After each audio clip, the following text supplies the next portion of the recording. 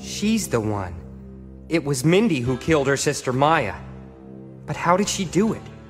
How did she get out of the room without breaking the tape? The door and the window were sealed from the inside. And what is this strange, uneasy feeling I have about all this? Something's bothering me, and I just can't put my finger on it.